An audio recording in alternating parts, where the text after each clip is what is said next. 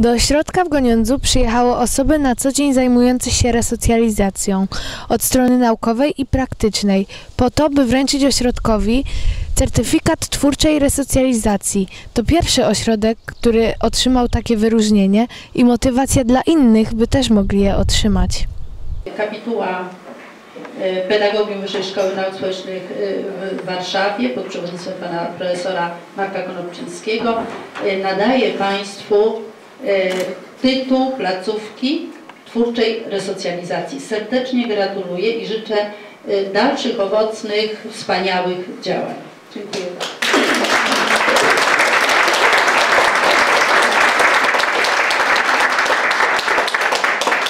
To jest pierwszy w Polsce certyfikat twórczej resocjalizacji i przyznawany, został on przyznany przez kapitułę Pedagogium Wyższej Szkoły Nauk Społecznych w Warszawie, a przede wszystkim przez twórcę koncepcji m, twórczej resocjalizacji, a więc profesora Marka Konopczyńskiego, ośrodkowi, który w sposób kreatywny prowadzi pracę z wychowankami.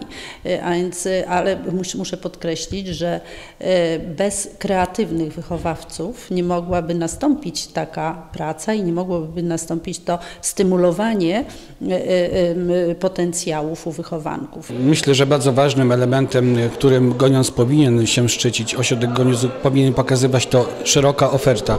Oferta zarówno edukacyjna, e, a więc oferta mająca rozwijać kompetencje e, edukacyjne, a jak również oferta uspołeczniająca. Rzeczywiście ma wiele e, do pokazania, e, wiele fajnych inicjatyw, e, wiele sukcesów, które są poparte ciężką pracą tutaj, e, przede wszystkim personelu pedagogicznego. czynienie dobra jest czymś naturalnym, że to dobro jednak zatoczy krąg i prędzej czy później do, e, do nas e, wróci.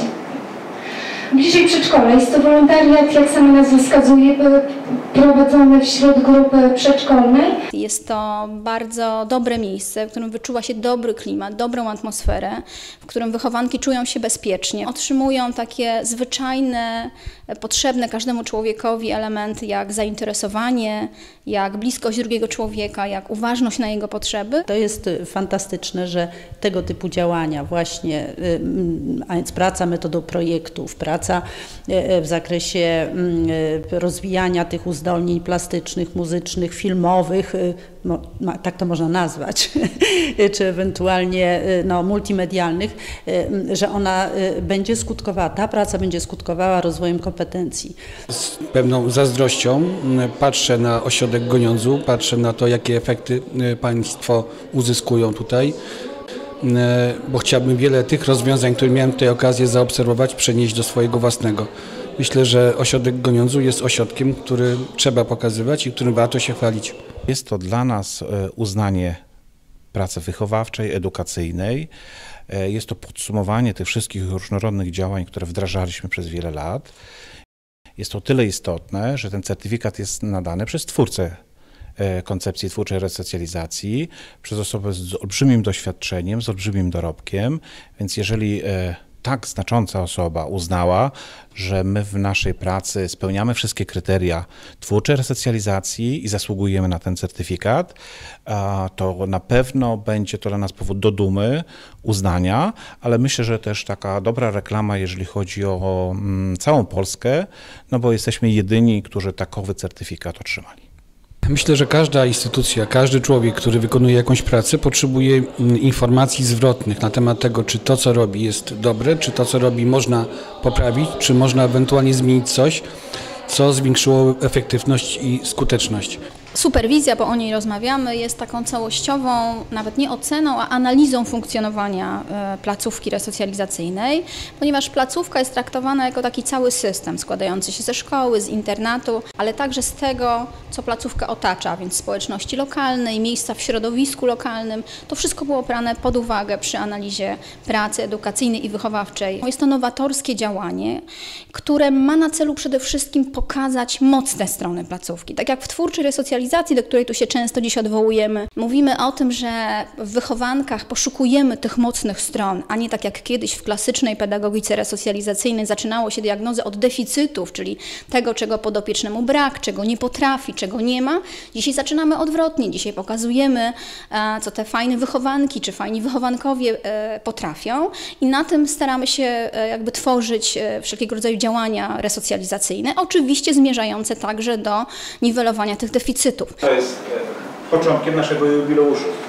W tym roku obchodzimy 60-lecie naszej placówki. Ośrodek powstał w 1956 roku. Moja współpraca z ośrodkiem, z Młodzieżowym Ośrodkiem y, Wychowawczym w Goniądzu y, sięga lat jeszcze wcześniejszych, kiedy pracowałam w Ministerstwie Edukacji Narodowej. Bardzo dużo y, takich, takich naszych myśli, które chcielibyśmy, żeby zafunkcjonowały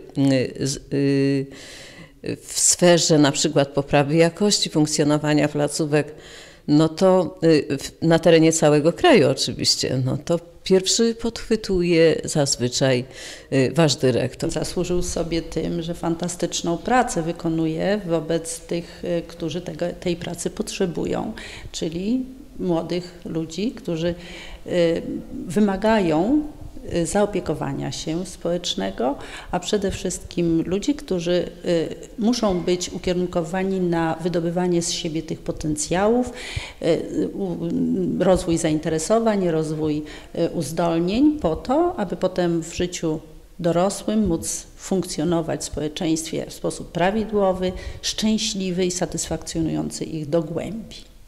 Ośrodek w Goniądzu i tak od dawna wyróżniał się na tle innych tego typu placówek w całej Polsce. Teraz dzięki certyfikatowi będzie mógł umocnić swoją pozycję i stać się przykładem dla innych. Telewizja Promek, Paulina Kałwa.